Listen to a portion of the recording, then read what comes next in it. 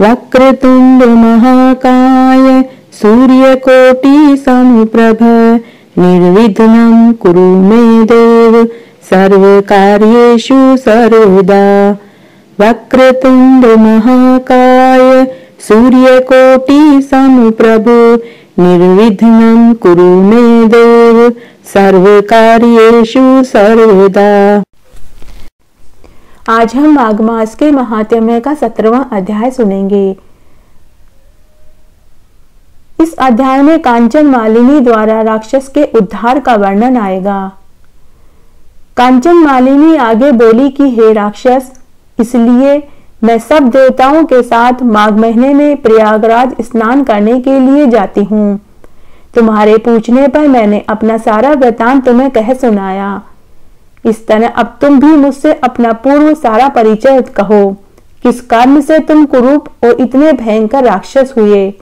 बड़ी बड़ी ढाडी मूछ वाले विकराल ढाड वाले, तुम पर्वत की गुफा में कैसे निवास करते हो? तब वह राक्षस कांचन मालिनी से बोला, इच्छित वस्तु देने वाली, अपनी गुप्त बात कहने व पूछने वाली हे सुलोचने, यही सज्जनों का काम है। मैं मैं निसंदेह तुमसे कहता हूँ। अब मुझको जन्मा के भविष्य का उद्धार तुम्हारे हाथों ही होगा। अतः अपने किए हुए कर्म को मैं तुमसे कहता हूँ, क्योंकि सज्जनों द्वारा ही दुखों का नाश होता है। हे सुशोनी हे कल्याणी, तुम सुनो, मैं काशी में वेदों की अनेक ऋचाओं का ज्ञाता था, उत्तम विप्रकुल में पैदा हुआ था। हे भीरु दुराचारी राजाओं, पापी शुद्र तथा वेश्यों से मैंने काशी में निंदित और निषिद्ध बड़े बड़े दान लिए यहाँ तक कि चांडालों का भी प्रतिग्रह ग्रहण किया। एवं मुझ मूड बुद्धि से और भी अनेक पाप हुए हैं। ऐसा कोई कर्म नहीं जो मैंने न किया हो। हे सुंदरी, अभिमुक्ति क्षेत्र में अणु मात्र भी पाप करने से वह पाप मेरु पर्वत के समान हो जाता है। उस जन्म में मैंने थोड़ा सा भी धर्म नहीं किया। उसके पश्चात वही मेरी मृत्यु हो गई। तीर्थ में मरने से मैं नरक में नहीं गया। तीर्थ स्थान में मरने वाला कैसा भी पापी क्यों न हो, नरकगामी नहीं होता। अतः इस सुव्रज पाप के कारण मैं हिमालय पर्वत पर अत्यंत क्रूर पापी राक्षस की योनि में जन्म लिया। इसके पहले दो बार मैं गिद्ध योनि में, तीन बार वाग्र योनि में दो बार सर्प और एक बार उल्लू और नौवीं बार नीच सुकर की योनि में पैदा हुआ था। तब से अब तक यह राक्षस योनि का दसवां जन्म है, जिससे मेरे जन्म के हज़ारों वर्ष व्यतीत हो गए हैं। इस दुख से मेरा उद्धार नहीं होता है, भामिनी। मैंने इस स्थान को तीन योजन पर्यंत जीव जंतुओं से रहित कर दिया है। बहुत से निरअपराधी जीवों को मैं खा गया। इस नीच कार्यों से मेरा चित्त बराबर दहकता रहता है। तुम्हारे दर्शन एवं अमृत रूपी जल के छिड़काव को पाकर मेरे चित्त में ठंडक आई है। यही सत्य संगति का प्रभाव है। मैंने अपने दुख के ये सारे कारण तुमसे कहे। हे सुब्रु, मेरा इस दुख रूपी समुद्र से पार कैसे होगा? उसके बाद दत्तात्रेय जी बोले कि हे राजन, उसके ऐसे दीनहीन वचन सुनकर चित्त में दया लाकर और धर्म दान देने के लिए मन में निश्चय कर कांचन मालिनी ने उस दैत्य से कहा कि, हे राक्षस, मैंने यह दृढ़ प्रतिज्ञा कर ली है कि मैं अवश्य ही तुम्हारी मुक्ति के लिए शीघ्र प्रयत्न करूँगी। मैंने प्रत्येक वर्ष में अनेक माघ मास किए हैं। तथा ब्रह्म क्षेत्र प्रयाग में गंगा यमुना के संगम में श्रद्धापूर्वक जितनी बार स्नान किए हैं, उसकी कोई संख्या नहीं है। परंतु धर्म का आचरण गुप्त रखना चाहिए। किसी को बताना नहीं चाहिए। मुनियों ने दीन एवं दुखी लोगों को ही दान देने की प्रशंसा की है। उसका अनुभव मैंने किया है। अतः शीघ्र ही पापों को नष्ट करने वाले उस पुण्य को मैं तुम्हें देती हूँ, जिसके प्रभाव से तुम्हें अभी स्वर्ग की प्राप्ति होगी। यह कहकर उसने अपने वस्त्र को निचोड़कर और उसके जल को अपने हाथ में लेकर माघ स्नान का फल संकल्प भरकर उस वृद्ध राक्षस को दे दिया। दत्तात्रेय जी कहते हैं कि हे राजन माघ मास के विचित्र प्रभाव को सुनो। उस राक्षस ने उसी क्षण पुण्य प्राप्त करके उस राक्षसी शरीर को छोड़ दिया और तेज में सूर्य के समान देव स्वरूप हो गया। वह आनंद से प्रफुल्लित होकर देवताओं के विमान पर चढ़कर आकाश में अपनी कांति से दिशाओं को प्रकाशित करता हुआ दिव्य रूप धारण किए हुए दूसरे सूर्य की भांति सुशोभित हुआ और उस कांचन मालिनी की प्रशंसा करने लगा और कहने लगा कि, हे भद्रे, ईश्वर ही जानता है कि तुम्हारे इस उपकार से मेरा उद्धार हुआ है। अब मेरे ऊपर दया कर सब नीतियों से पूर्ण, सब धर्मों के करने वाली श्रेष्ठ शिक्षा मुझे दो, जिससे कि मैं भविष्य में कोई पाप न करूँ। यह सब सुनकर फिर तुम्हारी आज्ञा पाकर मैं स्वर्ग को चला जाऊँगा। दत्तात्रेय जी ने कहा कि हे राजन, उसके मधुर वचन कहने पर कांचन मालिनी ने उसे बड़े ही प्रेम पूर्वक धर्म उपदेश दिया। कांचन मालिनी ने उस राक्षस से कहा कि, हे दैत्य सदैव हिंसा त्याग कर धर्म का पालन करना, साधु पुरुषों की सेवा करना, काम आदि शत्रुओं पर विजय प्राप्त करना, दूसरों के गुण और दोष की चर्चा छोड़कर सत्य बोलना, शिव और वासुदेव भगवान की हमेशा पूजन करना अस्थि, मांस और रुधिर से व्याप्त देह से गर्भ को त्याग कर पत्नी, पुत्र आदि की सदैव ममता त्यागना। संसार को दिन रात क्षण भंगुर देखना, वैराग्य भाव में चित लगाकर योगी बनना। यह धर्म का मार्ग तुमको मैंने बतलाया है। अब शील युक्त हो, राक्षस शरीर छोड़कर देव शरीर धारण करो और तेजस्वी होकर जल्दी ही स्वर्ग के सुख भोगो। यह कहकर कंचन मालिनी चुप हो गई। ऐसा धर्म उपदेश सुनकर प्रसन्न चित्त से संतोष पूर्वक राक्षस ने कहा कि, हे कल्याणी, तुम नित्य प्रसन्न चित्त रहो, तुम्हारा सदैव कल्याण हो। जब तक सूर्य चंद्रमा रहे, तब तक तुम कैलाश पर शिव के साथ आनंद से विचरण करो और उमा के चरणों में तुम्हारा अखंड प्रेम बना रहे। हे माता, तुम सदैव धर्मनिष्ठ और तपोनिष्ठ बनी रहो। कभी भी तुम्हारे शरीर में ममत्व न हो। दुखियों के दुख को सदैव नष्ट करती रहो।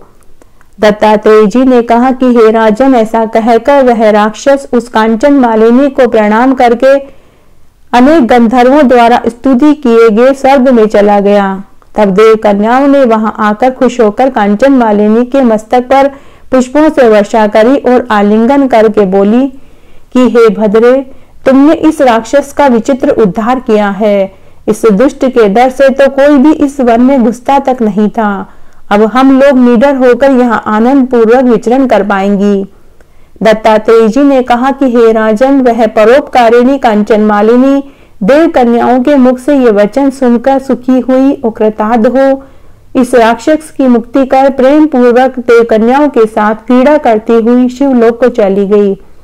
देव कन्याओं द्वारा कहे गए इस संवाद को जो मनुष्य भक्ति पूर्वक सुनता है उसको राक्षसों से कोई बाधा नहीं होती। उसकी बुद्धि हमेशा धर्म में रहती है। मुनि वशिष्ठ राजा दिलीप से आगे बोले कि, हे राजन, आप माघ मास के फल का श्रवण करो, जिसके श्रवण मात्र से मनुष्य कायक, वाचक और मानसिक सभी पापों से मुक्त हो जाता है। हे राजन, जो मनुष्य माघ मास में सुबह उठकर यह प्रण करता है कि मैं रोज माघ मास में ब्रह्मुहूर्त में उठकर स्नान करूँगा, विष्णु भगवान और कृष्ण जी का पूजन करूँगा, उसके सभी प्रकार के पापों का नाश हो जाता है। माघ मास में सभी लोगों को तीन दिन अवश्य स्नान करना चाहिए। ईर्ष्या, धन, लोभ, सेवा, हट, लोक अपराध निमित स्वेच्छा, भय, पाखंड, सुख, लिप्सा किसी भी उपाय से माघ स्नान अवश्य करना चाहिए, परंतु कलयुग में पाप अधिक होने के कारण माघ मास अति दुर्लभ है।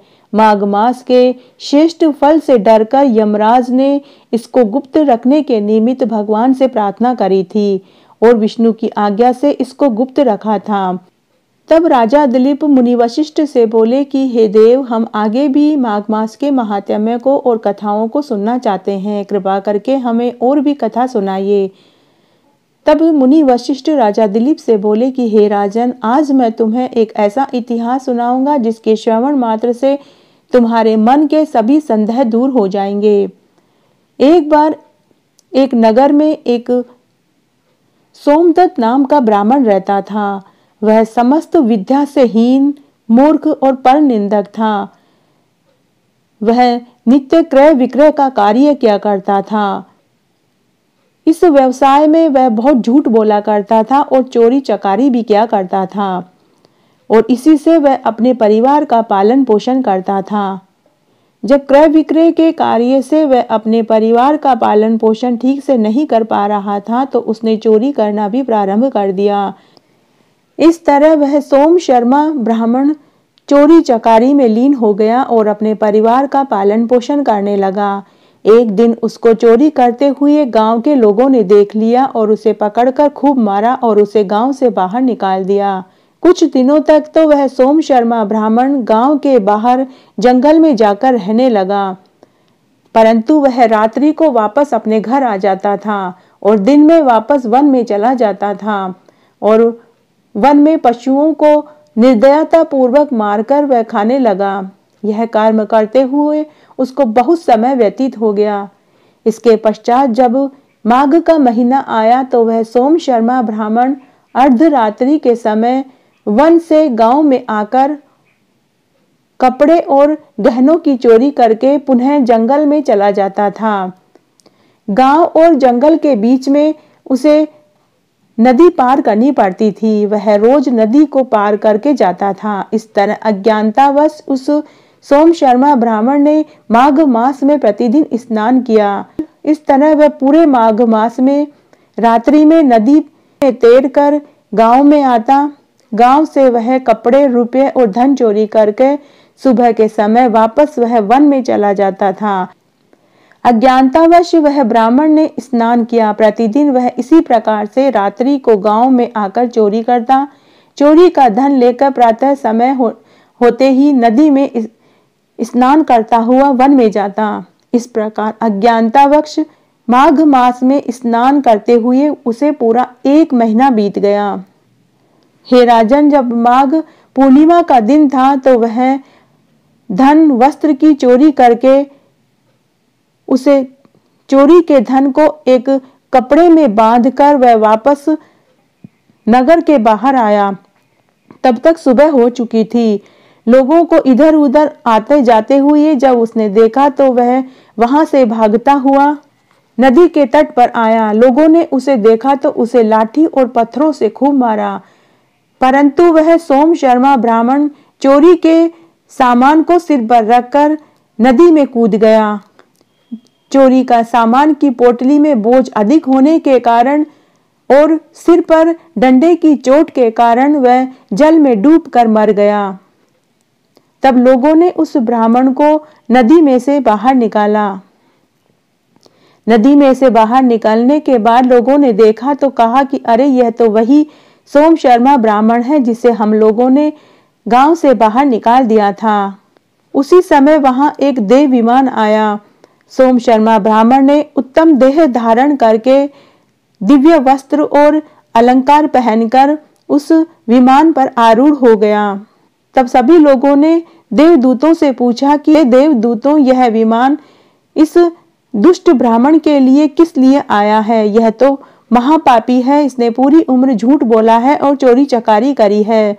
तब देवदूतों ने कहा कि, हे पूर्ववासियों माना कि इस सोम शर्मा ब्राह्मण ने पूरी उम्र चोरी करी है, झूठ बोला है, परंतु इसने अज्ञानतावश माघ मास में नदी में दो समय स्नान किया। रोज रात्रि को स्नान करता था और एक बार सुबह करता था।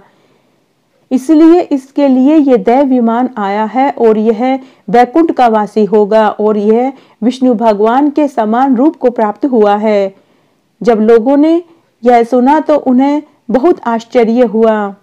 सभी लोग उस सोम शर्मा ब्राह्मण को दिव्य देह धारण करके देव विमान में बैठकर जाते हुए देखा। तब राजा दिलीप ने मुनि वशिष्ठ के मुख से यह महात्म्य सुना तो उन्होंने वापस से मुनि वशिष्ठ के चरण पकड़ लिए। मुनि वशिष्ठ ने राजा दिलीप से कहा कि, हे राजन, इस माघ मास के स्नान का महात्म्य का फल आज मैंने तुम्हें बताया। और तुम इसके अलावा क्या सुनना चाहते हो? तुम्हारे मन में और क्या संदेह है? वह पूछो, मैं तुम्हें बताने के लिए तैयार हूँ। इस तरह आज मैंने आपको माघ मास के महात्म्य का सत्रहवा अध्याय सुनाया। मेरे साथ बने रहने के लिए आपका धन्यवाद। आगे के महात्म्य के लिए भी आप इसी तरह मेरे साथ बने रहें। धन्यवाद।